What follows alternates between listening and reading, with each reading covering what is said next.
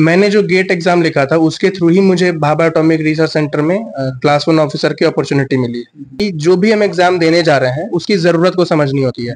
सारे एग्ज़ाम एक जैसे नहीं होते हैं। कुछ एग्ज़ाम्स की नीड अलग होती है। कुछ एग्ज़ाम्स को प्रिपेयर करने के लिए ज़्यादा मेहनत करना पड़ता है। जैसे तो काफ़ी बार ऐसा होता है कि अच्छे शिक्षक के पढ़ने के बाद भी बच्चे नहीं निकाल पाते हैं।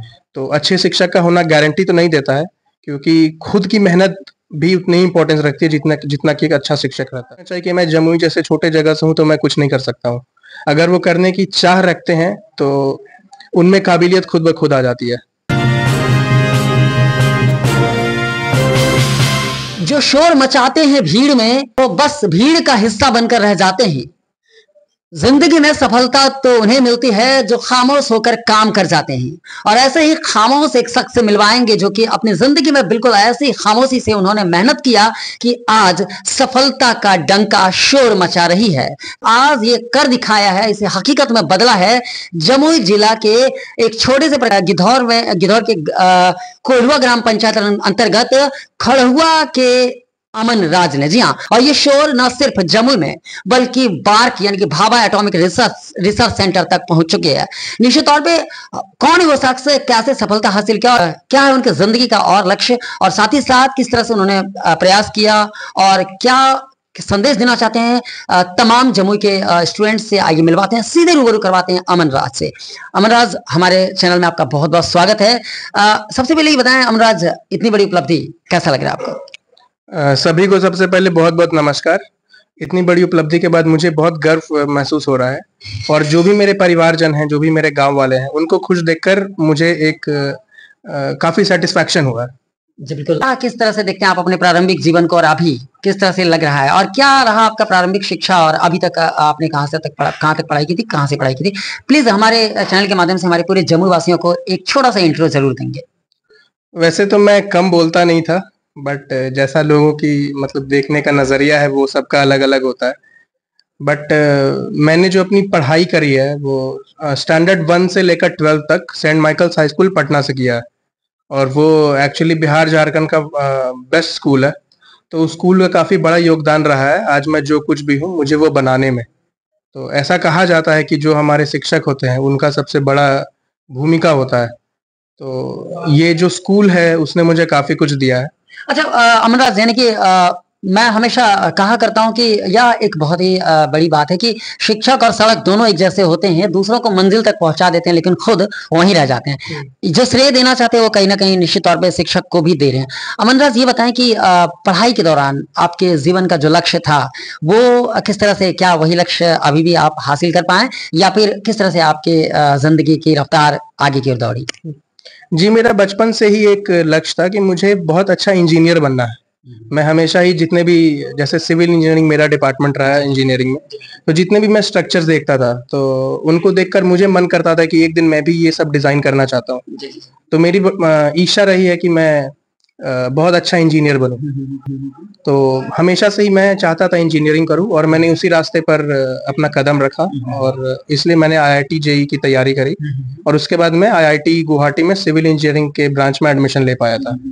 तो एक तरह से मेरा जो सपना था उसी उसी की ओर मैं बढ़ता चला गया और आज मैं यहाँ पर हूँ। तो आईआईटी आपने किया और निश्चित तौर पे एक बहुत बड़ी सफलता वहाँ भी अर्जित की।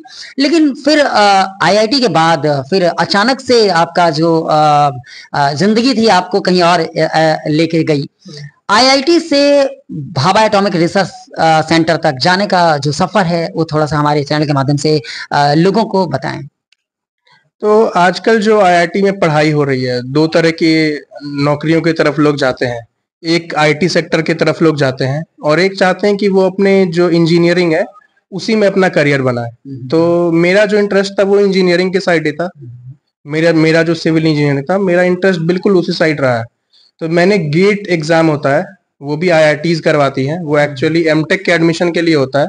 बट जो टॉप पब्लिक सेक्टर अंडरटेकिंग्स हैं जैसे ओएनजीसी इंडियन ऑयल और कुछ गवर्नमेंट ऑर्गेनाइजेशन जैसे Bhabha atomic research centre DRDO ये सभी उसी एग्ज़ाम से नौकरी के लिए नोटिफिकेशंस निकालती है। तो मैंने जो गेट एग्ज़ाम लिखा था उसके थ्रू ही मुझे भाभा एटॉमिक रिसर्च सेंटर में क्लास वन ऑफिसर की अपॉर्चुनिटी मिली। तो अच्छा, निश्चित तौर पे एज अब तो एज ए साइंटिस्ट के रूप में आप जम्मू जिला के एक नामचीन चेहरा बनने जा रहे हैं और पूरे देश में एक अच्छा काम करेंगे। लेकिन एक छोटा सा मैं आपसे एक जानना चाहूँगा कि निश्चित तौर पे कई जो अभी परसुइंग स्टूडेंट्स हैं जो इलेवन ट्वेल्थ कर रहे हैं, उनका कहीं ना कहीं एक सपना होता है इंजीनियरिंग करने का। तो और इंजीनियरिंग में भी पहला जो वो सपना देखते हैं कि आईआईटी मेरे से निकले। ये आप खुद एक आईआईटीएन हैं तो किस तरह से देखते हैं कि बच्चों को किस तरह से क्या, किन चीज़ों की ज़रूरत है ऐसे परीक्षाओं की तैयारी करने के लिए, और किन चीज़ों को ध्यान में रखें, मद्देनजर रख के वो तैयारी करें?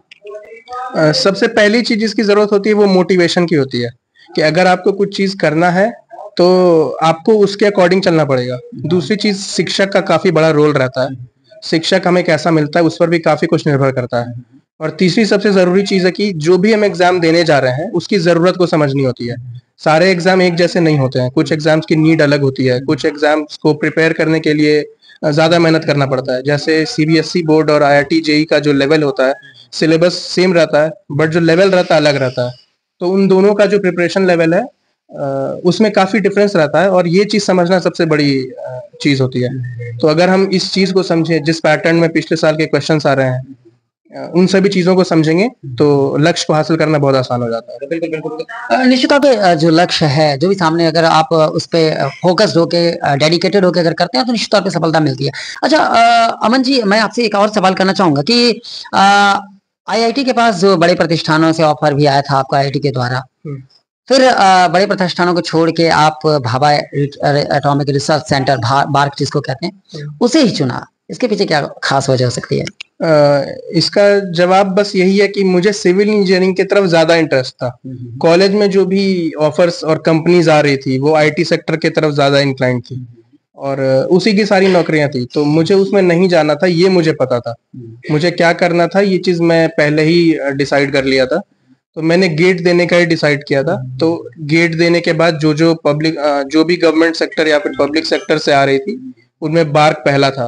तो बार्क की नौकरी मुझे मिल गई। बिल्कुल बिल्कुल। बहुत बहुत शुभकामनाएँ भी आपको क्योंकि एक प्रतिष्ठित संस्थान ना सिर्फ़ प्रतिष्ठित बल्कि देश की आन बान शान जहाँ से निश्चित तौर पर हमारे पूरे भारत का भविष्य निर्धारित होता है। वहाँ पे आप जा रहे हैं। एक, छोटा सा एक स्टूडेंट्स को लेके, क्योंकि जो मैं, आपके जितने भी दर्शक है, वो बिल्कुल यूथ हैं और यूथ में भी वो न्यू कमर जो स्टूडेंट्स हैं, वो हैं। अमन राज ये बताएँ कि क्या आईआईटी की परीक्षा के लिए मार्गदर्शन के लिए कोचिंग इंस्टीट्यूशन जाना, जैसे कि बहुत सारे का सपना होता है, कोटा जाके तैयारी करें, पटना में रहें, क्या वो घर बैठ के तैयारी कर सकते हैं या नहीं? हाँ ज़रूर, घर बैठकर तैयारी कर सकते हैं। आजकल तो काफ़ी ऑनलाइन मीडियम्स भी आ गए हैं। अगर कोचिंग करना ही है तो ऑनलाइन मीडियम्स के थ्रू अच्छे अच्छे शिक्षक शिक्षक मिल जाते हैं। शिक्षक का काफ़ी बड़ा रोल रहता है, ये बात तो बिल्कुल सही है कि अगर कोई घर में बिना शिक्षक के पढ़ता है तो एक तरह से वो पीछे जा रहा है उन बच्चों से, जिनके पास अच्छे शिक्षक हैं। परंतु काफ़ी बार ऐसा होता है कि अच्छे शिक्षक के पढ़ने के बाद भी बच्चे नहीं निकाल पाते हैं। तो अच्छे शिक्षक का होना गारंटी तो नहीं देता है, क्योंकि खुद की मेहनत भी उतनी ही इंपॉर्टेंस रखती है जितना जितना कि एक अच्छा शिक्षक रहता है। तो ऐसा कुछ ज़रूरी नहीं है कि अगर किसी के पास रिसोर्सेज कम है तो वो नहीं कर सकता है। क्योंकि मेरे काफ़ी दोस्त हैं जो गाँव से थे और वो आईआईटी में मेरे बैचमेट थे। तो उनका जो मोटिवेशन था वही उनको वहाँ तक लेकर के आया है। और आजकल तो काफ़ी ऑनलाइन प्लेटफॉर्म आ गए हैं जिनमें कि कम फ़ीस में भी लोग इनरोल हो सकते हैं। एज ए आई और एज अ साइंटिस्ट आप जम्मू के जम्मू शहरवासियों को जम्मू जैसे छोटे शहर के बच्चों को स्टूडेंट्स को या फिर लोगों को क्या संदेश देना चाहेंगे? सबसे पहले उनको अपने माइंड को छोटा नहीं करना चाहिए। उन्हें ये नहीं सोचना चाहिए कि मैं जमुई जैसे छोटे जगह से हूँ तो मैं कुछ नहीं कर सकता हूँ। अगर वो करने की चाह रखते हैं तो उनमें काबिलियत खुद ब खुद आ जाती है। तो अगर वो अपने मन को छोटा करेंगे तो लक्ष्य, उनका जो जहाँ वो पहुँचेंगे, वो छोटी जगह ही रहेगी। अगर उन्हें बड़ा जगह पहुँचना है तो अपने मन को बड़ा रखना पड़ेगा और खुद में भरोसा रखना पड़ेगा। निश्चित तौर पर यानी कुल मिला के कहा जा सकता है कि मन के हारे हार है, मन के जीते जीत, मान लिया तो हार है और ठान लिया तो जीत, निश्चित। अमन राज ने जो हमसे बातें की अभी जो भी चीज़ें उन्होंने गुप्तगु हमसे की या फिर जो भी चीज़ें उन्होंने शेयर किया, वह ज़रूर दिखाता है कि ये बचपन से ही ठान लिए थे कि कुछ कर गुजरना है। निश्चित तौर पर कहते हैं कि ज़िंदगी जीने की कोई ना कोई वजह ज़रूर होती है और वो वजह इनको आज भाभा एटॉमिक रिसर्च सेंटर तक पहुंचाई है। अमन जी आपके आपका भविष्य की बहुत बहुत शुभकामनाएँ हमारे चैनल के माध्यम से और निश्चित तौर पे हमारे जमुई जिला के लिए आप एक जमुई के आन बान शान है माटी के लाल हैं। Aman ji thank you so much बहुत बहुत धन्यवाद।